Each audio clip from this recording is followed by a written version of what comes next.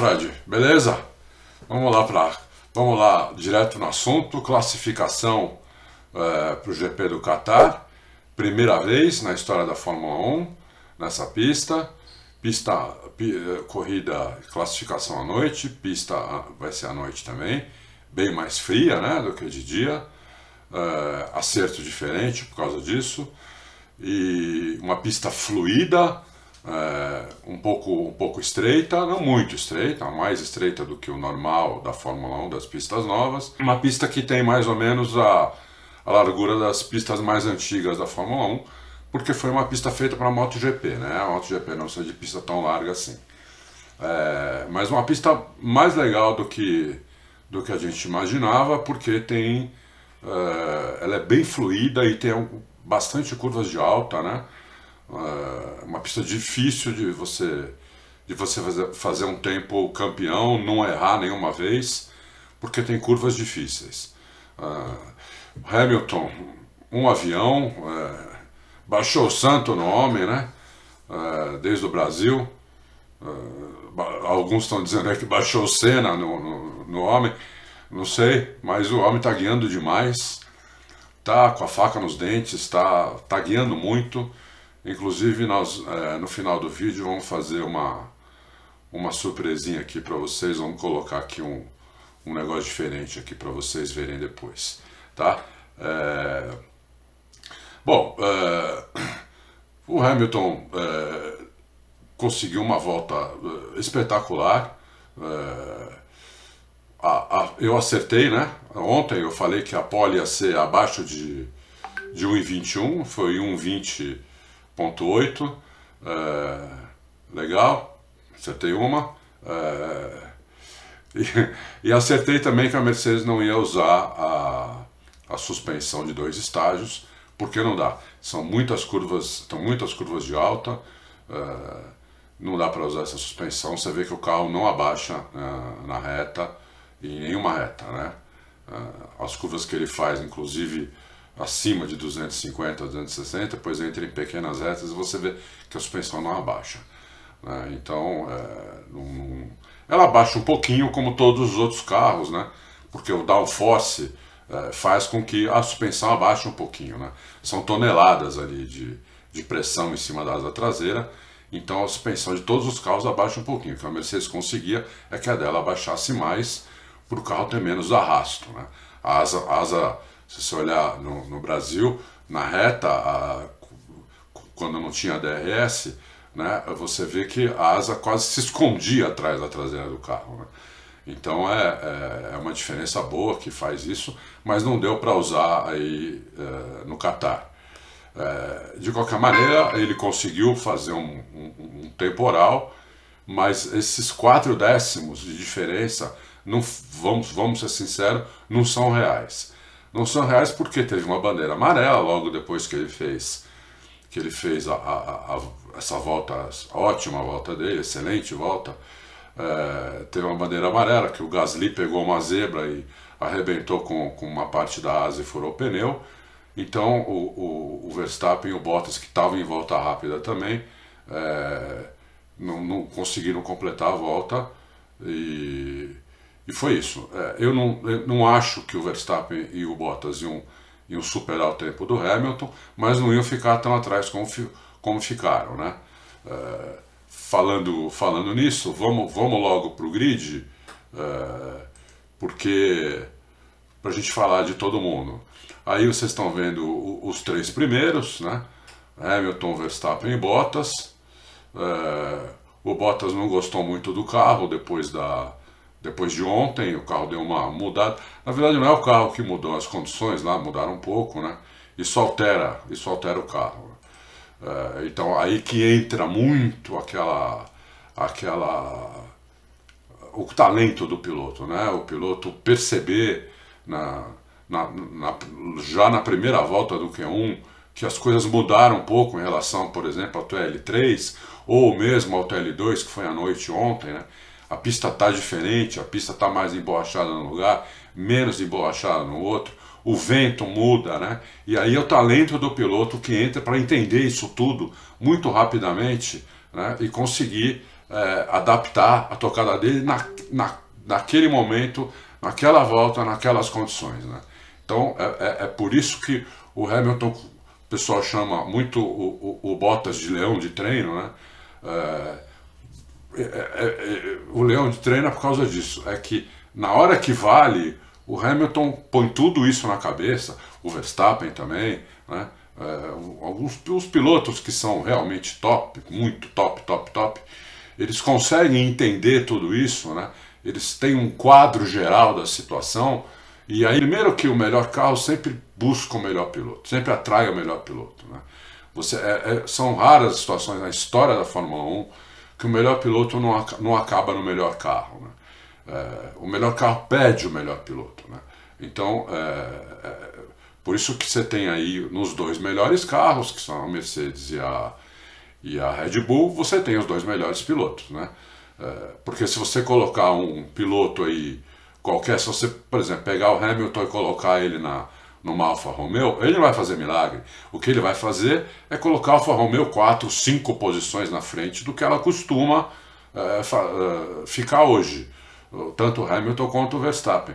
Agora, se você pegar o, o, um, um Kimi Raikkonen hoje, que é um bom piloto, o, o Giovinazzi, vamos usar o mesmo exemplo da Alfa Romeo e colocar na Mercedes ou colocar, ou colocar na Red Bull, eh, eles não vão fazer essas poles, né? Eles vão ficar em quarto, quinto, sexto, uh, às vezes não vão nem para o Q1, né? Como aconteceu, por exemplo, hoje com, com o Pérez, uh, não foi nem para o Q3, né? Ficou no Q2. Então, é aí que o piloto faz. O automobilismo é sempre a soma do piloto com o carro, né? piloto não faz milagre num carro ruim e, e o um piloto ruim não faz, não tira todo o tempo do, de um carro bom, entendeu? Você tem que sempre somar isso e para entender melhor a situação, como funciona a Fórmula 1, né? É, não só a Fórmula 1, a maioria da, das categorias, mas a Fórmula 1 é, é diferente, né? O carro é muito rápido, o carro acelera demais, o carro faz curvas de uma maneira impressionante. E o carro freia dentro da curva, que vocês devem ter reparado, eles estavam freando naquela reta gigante, chegando, pa, pa, passando dos 320, eles estavam freando na placa de 50 metros. Quer dizer, é, um, é uma barbaridade o que freia um carro de Fórmula 1. Bom, vamos lá. O Hamilton, uh, então, fez esse tempo aí de 1,28, 1,20 alto, como tinha falado ontem.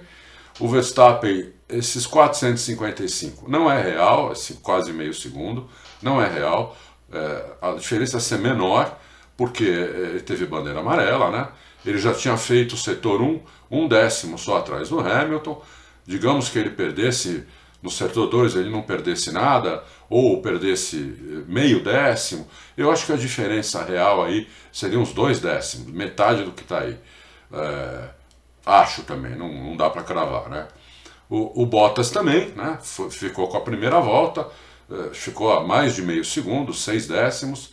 Aí o Gasly, né? O Gasly detonando, corrida sim, corrida também. É, de novo, né? É uma pena o Gasly não ter um carro melhor. É uma pena a, a, a Red Bull. Se eu fosse a Red Bull, eu trocava, porque é, o, o, contrato do Gasly é com a empresa, o contato, com a empresa, com a organização Red Bull, o contrato do, do, do Pérez também. Eu, eu destrocaria, eu, eu colocaria o, o Gasly de novo na, na Red Bull para ser companheiro do Verstappen. É, eu acho que eles não, eles não vão fazer isso, mas eu, eu colocaria, porque o Gasly, quarto lugar, é, ou seja, o melhor do resto e ainda o melhor de um do que não é do resto, né? que é o Tcheco que tem o um carro igual ao do Verstappen. É, depois Alonso, é, muito boa volta do Alonso, né?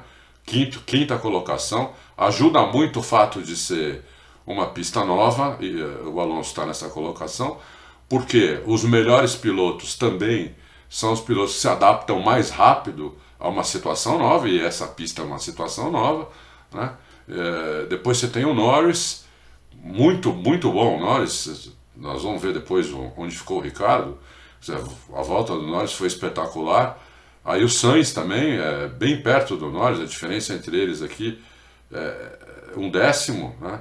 Quer dizer, Ferrari e McLaren naquela luta ainda, mas só dessa vez basicamente, pelo menos até agora, entre o Norris e o, San, e o Sainz. Depois o, o, o, Tsunoda deu uma melhorada, foi, foi para o Q3, fez o oitavo tempo.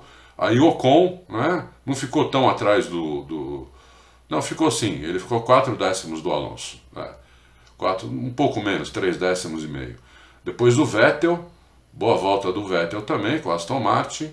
O Vettel, o Vettel se achou melhor no, no, no Aston Martin do que estava na Ferrari. A Aston Martin tem uma traseira mais estável do que do que a, a, Ferrari, do que a Ferrari tinha, né? Então o Vettel está se achando um pouco melhor. Nada demais também, é décimo lugar, mas está melhor do que estava na Ferrari, porque na Ferrari estava tomando um, um, pau feio do, do, do Leclerc. Né? É, aí vão pro Pérez só em décimo primeiro, bem ruim a, a, a, volta do Pérez, né? E tudo bem, ele ia ter uma segunda volta, mas quase muita gente aí não teve a segunda volta, né? Então tem que comparar a primeira volta dele com a, a maioria, ele só teve a primeira volta também no Q3.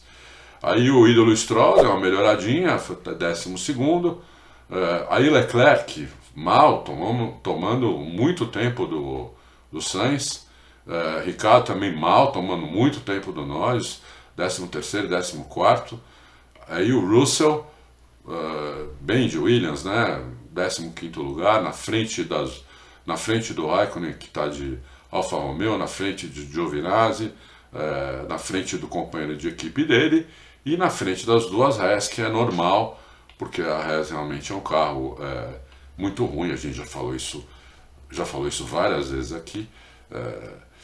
Bom, vamos amanhã para a corrida. É, uma coisa que eu não tinha falado no vídeo de ontem, muito importante é, porque eu não tinha o, o, os tempos ainda, né?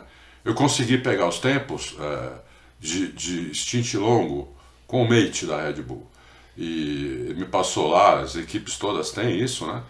É, e o melhor era o Bottas, né? Bem melhor. Um, um stint, longo, o Bottas estava bem melhor. É, depois era o, se eu não me engano, eu não tô com isso, eu devia ter colocado aqui, né? na hora de eu fazer o vídeo, mas eu não coloquei, tem aqui de cabeça.